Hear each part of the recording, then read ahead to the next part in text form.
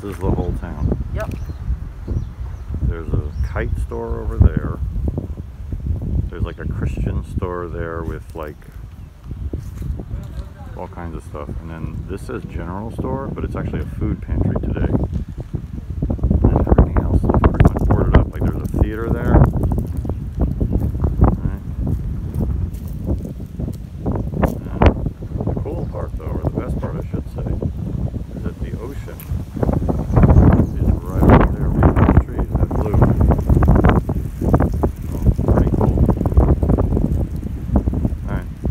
Oh,